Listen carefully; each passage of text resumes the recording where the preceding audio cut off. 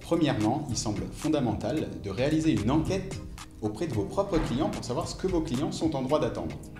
Deuxièmement, vous allez définir des objectifs qui sont smart, simples, mesurables, atteignables, réalistes et temporaires.